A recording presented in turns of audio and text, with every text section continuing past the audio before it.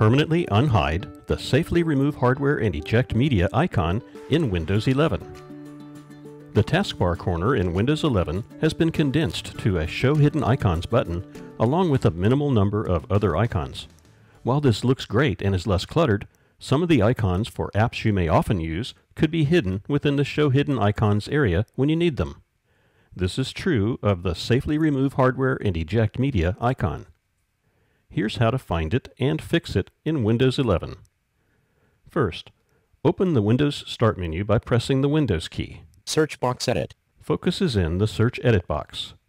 Type the words Taskbar Settings in the Search Edit box and then press Enter. Taskbar settings, system settings, press right to switch preview, taskbar, settings, taskbar items, show all settings button expanded. The Windows Settings app opens to the taskbar settings. If this step doesn't work for you, open the Windows Settings app by pressing Windows key I, India. Then move to Personalization by pressing down arrow followed by Enter. Finally, choose Taskbar in the list of settings on the right side of the screen. Next, move to the Other System Tray Icons Show All Settings button by pressing Tab several times and then activate it with a left mouse click or the spacebar. Search button, on. Task view button, on. Chat button, off. System tray icons, show all settings button expanded. List box, pen menu, pen menu button, on. Touch keyboard, touch keyboard button, off. Virtual touchpad, virtual touchpad button, off. Other system tray icons, show all settings button collapsed. Expanded.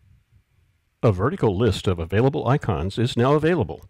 Each one has an on-off button to enable it to be shown permanently or not. Move to the list of available icons on your PC by pressing Tab and then press down arrow to find the Safely Remove Hardware and Eject Media icon.